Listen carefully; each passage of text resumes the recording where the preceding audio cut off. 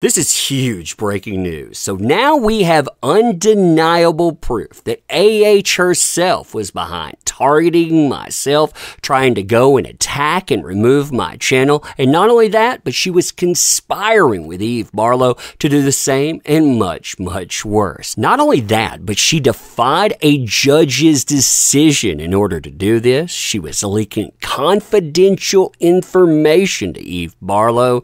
You and I, we are going to talk talk about this today. Whew, man, I mean, this, this is fun times. This, this is fun times indeed. So, hey there to all you fine folks on this fine day. By the way, I hope you are doing excellently. And this, it is bombshell material. Why? Because it shows that AH not only went after my channel, tried to take that down, but she weaponized Eve Barlow, the same person that has attacked beyond channels, beyond Twitter. She has gone after my real life. She has gone after businesses and beyond. Well, this, it takes away the deniability. It ties that to AH herself. Today, we had a bunch of bombshells dropped unseen stuff no one had ever heard of in the form of unsealed documentation. See, a few weeks ago, the judge decided she was going to unseal specific documents, ones that AH wanted to hide. I mean, there are a lot of things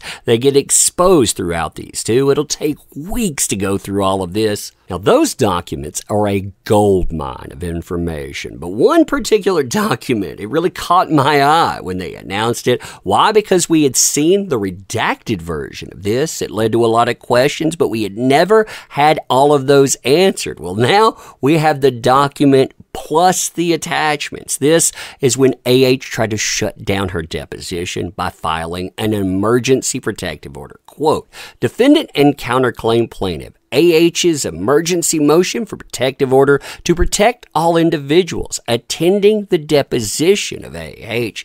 What she does in this is she essentially does anything that she can to get out of being deposed. She's saying, I'm not safe. Elaine, my lawyer's Rottenborn. We're not safe either. We're not safe because, well, they go after the beer bunk. They go after everything like, say, lunch arrangements, restroom, deposition areas as well. The fact that, well, we need certain mask rules to be in effect.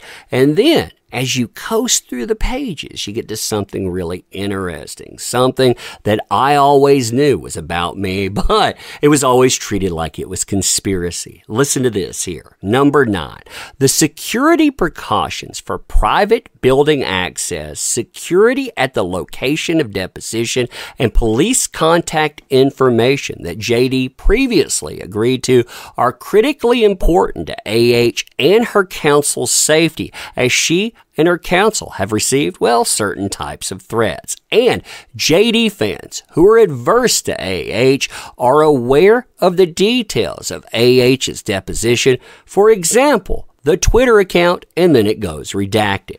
Now, AH, oh, she screws up big time here. She makes a crucial mistake. How does she do that? Well, first and foremost, you notice after all of that redaction, it says see attachment 9. Like I was saying before, no one had access in the public to attachment 9. The only people that were supposed to be able to see this was AH, the people that were working with her. You would have JD, the people working with him, and the judge. I mean, this, it was filed as classified or confidential. That's the same thing that got Adam Waldman removed because he was quote unquote leaking stuff, which was a lie. But anyway, now when you look at this, again, we just got access to it.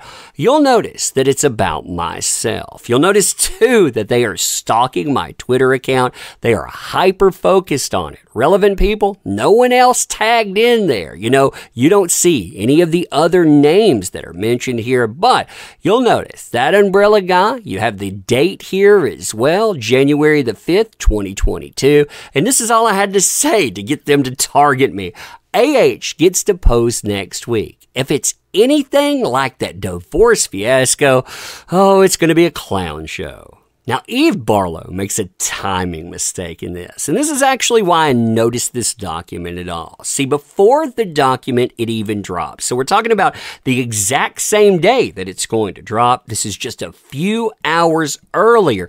Eve Barlow switches off from whatever she was talking about at one time. I know this is hard to imagine, but at one time, she did other things besides target people like myself or JD or Adam Waldman, but she switches off and she goes after me. Not only does she do that, but she's using the talking points that we're going to see come up in a document a few hours later. So she not only is mentioning things that are redacted, she filled in the blanks for me. I knew that that had to be about me, but she's talking about it again before it ever goes public. Look at what she says here. Like I said, this gives away at the game.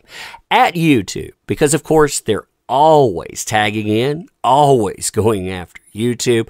Why do you continue to allow an account that would be that umbrella guy to post freely. So you can tell right there, you need to restrict that account. You need to go after them. You need to shut them down after repeatedly violating privacy rights. By the way, that is an out and out lie. You don't have any privacy rights that come with this stuff. If you file these items, they are public information. The judge said all of this is, even the redacted bits, that was going to become public information. But the stuff I talk about here, all of that, it was available publicly. But surrounding information pertaining to the JD trial that is yet to take place in court. It doesn't have to take place in court before you talk about it, by the way.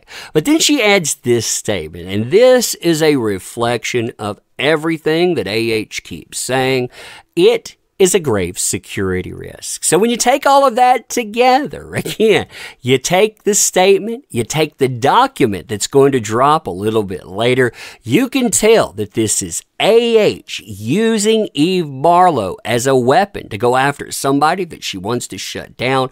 Why is that important, by the way? Well, because AH has always maintained deniability when it comes to Eve Barlow. Eve Barlow targeted Gina Deuters in the courtroom, for example. That was a witness for JD. Eve Barlow targeted her with disinformation. The stuff, it wasn't true, but she targeted her anyway. She even gets kicked out of the courtroom because of the after aftermath, but she's also she's targeted everyone from JD to Adam Waldman, lawyers. She goes after everyone involved, myself, everybody there. And again, you can tell here it's not Eve Barlow that is pulling the strings. It's AA. She's telling her what to do. That that really says something when it comes to doxing, attacking businesses, going after kids, and more.